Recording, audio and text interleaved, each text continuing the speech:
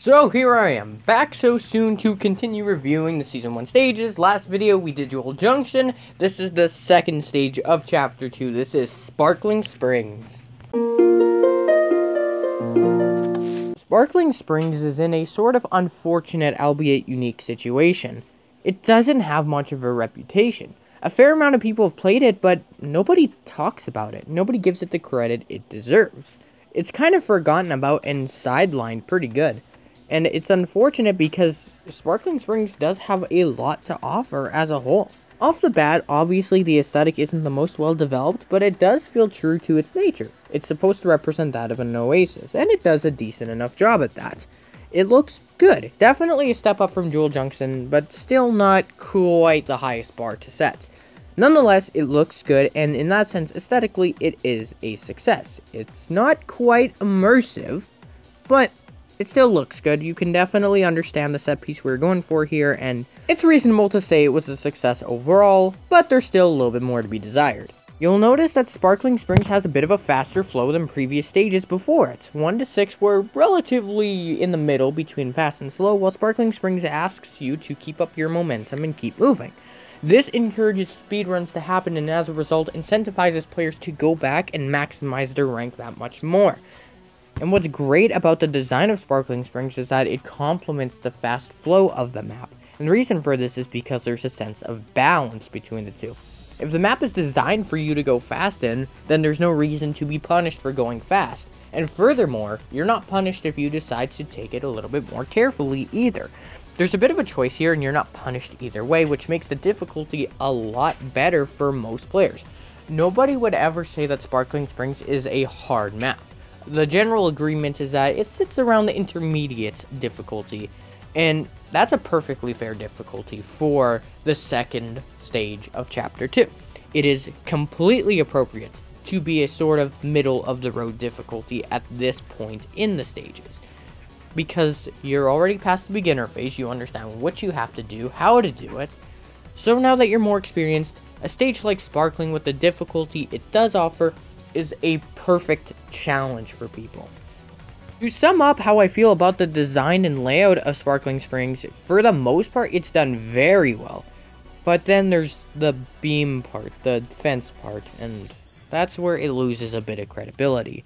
This part is designed not unfairly, but there's frustration littered all over this part. This is what you will be sabotaged by when you go for your champ or glory rank. It isn't poor design as a whole, but it is incredibly frustrating, and nobody on this planet likes this part. Luckily, it's pretty brief and it might only last you 15 to 20 seconds if you know what you're doing. But it is one questionable part out of many great parts of the stage, so it won't be hurting its score too much. Also, a very important note to mention is that Sparkling Springs introduced a mechanic that would stick with us long term. And that has to go to the homing minecarts of this stage. The idea of this mechanic is that you sit in a minecart and you're within range to enter another one.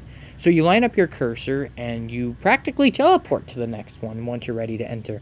And you keep doing that until you cross over the large gap between the first minecart and the last. Stage later on even proposes a question in minecart form if you are ready to take the next step with the homing minecarts with this part that you see on screen. You have two opportunities to make this shortcut.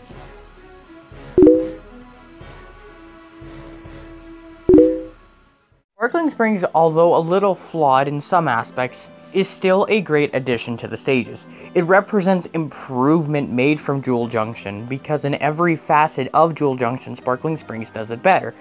Better pacing, less annoyances, more innovation and creativity and thought put into this stage as a whole.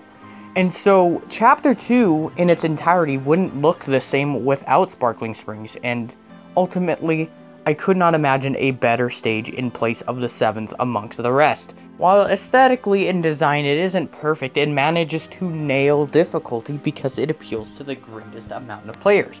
It is not a ridiculously hard map, nor is it super easy either but it isn't daunting in either direction enough for the opposite class to have a hard time with it. Instead, it's fun for everybody to an extent, and at the end of the day, that's all that matters. Sparkling Springs is a great map with little flaws to take away from its impact.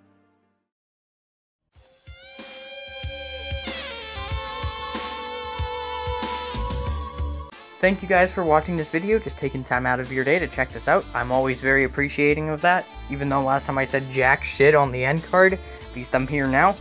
And uh, I also want to give a thank you to Sav, who made a cameo in this video as well. That's two in a row, so I bet she'll be fond of that. Um, the current state of the fourth stage of the second season, it's it's going slowly. Honestly, we're just not sure where to take it next, but we're giving it some good thought, and we got some good ideas in there that I'm sure you'll all come to enjoy when I make a video for that. So, yeah, with that in mind, everybody, though, I will see you in the next one. Take care for now.